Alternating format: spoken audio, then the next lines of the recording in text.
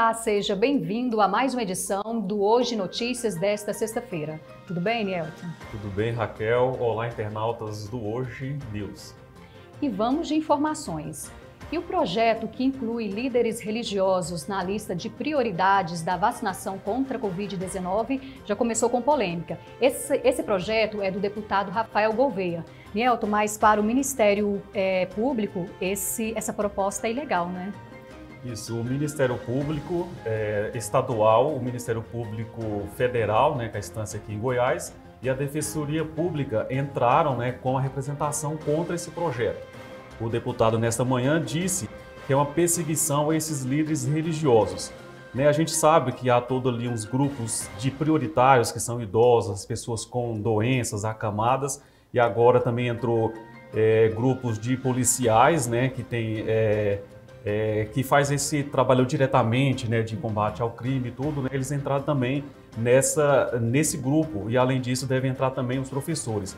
Agora a gente não sabe qual que é o motivo desse deputado, que é pastor também, de estar tá incluindo líderes religiosos, né? Uma, uma vez que eles não têm esse contato tão direto com essas pessoas, né? Que eles podem fazer atendimentos, sim, espirituais podem, até pelas redes sociais, que muitos já fazem, né? Cultos, missas pela internet, né?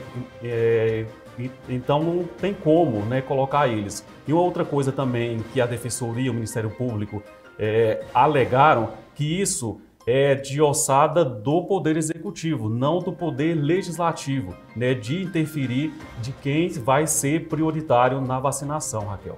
É complicado, né? E falando em pandemia, é, a pandemia tem afetado diretamente os brasileiros economicamente. Só as rendas das famílias encolheu 5% e o endividamento subiu 10%. É, o, é um momento bem é, delicado, né, Nielto? Porque a pandemia afetou vários setores, né? Isso, Raquel. É porque além do desemprego, né, que a gente tem cerca de 14 milhões de brasileiros é, sem trabalho ou na informalidade, a gente teve também é, essas medidas do governo de redução de cargas horárias, com isso também redução de salários. Então, muitas pessoas tiveram a sua renda mensal, né, o seu orçamento reduzido por causa dessas medidas. Então, o que, que as pessoas fazem? Acaba, é, é acaba entrando no crédito, no cartão de crédito e vai arrolando nessa dívida. Né? É, é, então, houve essa pesquisa, né? é a manchete do jornal O Hoje, né, dessa sexta-feira, com, com essas famílias, né, que já chega aí a 5%, né, e 33% do produto interno bruto. Então, assim, é um, é um, é endividamento muito alto, Raquel. 33% de toda a produção do país né, é, está como dívidas. Então, né, o que é, é, é, o que os especialistas aconselham a pessoa é pisar um pouco no, no freio, né, reduzir né, algumas, algumas coisas que são supérfluas, né? né? Então, assim, é... e ver o que é possível cortar no orçamento familiar. É, apesar que as famílias já cortam né, é, os gastos, agora cortar mais, né, acho que eu acredito que vai ficar bem complicado. Mas e falando em vacinação, é, os municípios só receberão novas doses da vacina agora, depois de darem baixa 100% no Ministério da Saúde. Isso deve ser devido também a esses desvios né, de vacina, porque aqui em Goiânia, principalmente, tem é, sido muito frequente, né, Nielton? Isso, Raquel, porque os municípios, eles, quando eles recebem essa vacina, eles recebem via um painel né, de controle de quanto aquele município está recebendo dessas doses.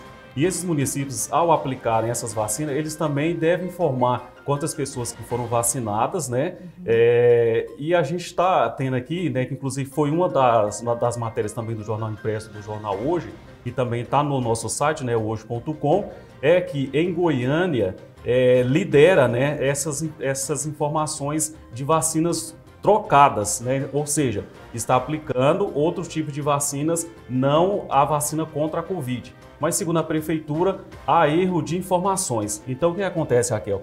Além desses municípios terem que informar nesse painel as vacinas que estão sendo aplicadas, muitas estão informando errado o que está acontecendo na capital. Informa, é, na hora de digitar lá, eles estão fazendo as informações, constando informações erradas. Isso está prejudicando muito.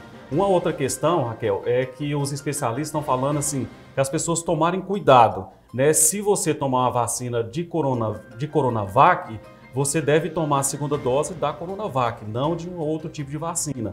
Então, assim, é, porque é, até as prefeituras eles não estão tendo essa é, como organizar controle, qual a né? vacina que a pessoa uhum. que a pessoa está tomando. Né? Então a pessoa vai lá toma toma Coronavac, depois vai lá e toma Pfizer. Então, assim, eles estão pedindo para a pessoa não fazer isso, porque é, não, é, é, não, não tem pesquisa de como está sendo essa imunização. E outra coisa, você toma dois tipos de vacina e você atrapalha né? outra pessoa de tomar, né? Então, assim, é. né, que está chegando agora a vacina Pfizer, está chegando a AstraZeneca, então, assim, se, se, você tomou a Coronavac, você repete a Coronavac. É, porque né? tem vacina também que é, a primeira dose, vamos supor, a pessoa toma, toma a primeira dose hoje, depois só três meses para tomar a, a, segunda dose, né? Então, tem que ter esse controle mesmo, né? Para não trazer complicação, né? Isso, e deixar também para os outros que estão precisando vacinar, né?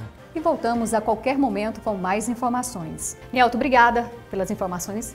Obrigado a você, obrigado aos nossos internautas, né? Essas informações todas, Raquel, que a gente traz aqui, tá todos no nosso site, né? No nosso impresso também.